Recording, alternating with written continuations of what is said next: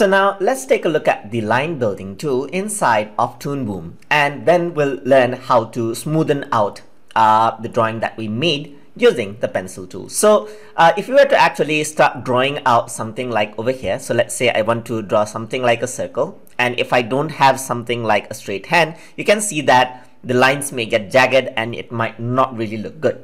In that case, what you can do is uh, you can enable the line building tool mode right here. That is the line building mode. And what it does is as you draw and draw an overlapping line, it actually joins the line just like this. So you have a really smooth drawing at the end, just like this. So press Ctrl Z and it has to be overlapping and you can see that now this is a single drawing right over here.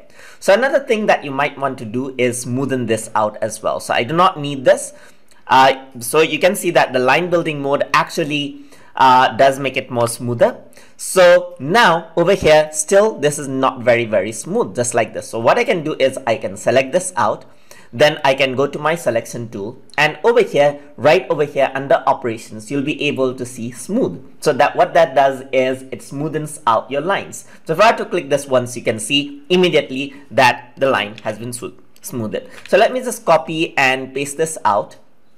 So uh, I'm going to press Control C, Control V so that there's a duplicate and you can see the comparison. So now I'm going to smooth this out right over here, click smooth and you can see that immediately this is the smoother version and the line is much clearer as you can see right here. So what started out as a very, very rough drawing actually started out here. So once I were to actually use the line building tool, you can see that it connects. But if I were to disable it, then it does not connect it out. So I can make anything like this. So this works very well for straight lines, as you can see right there.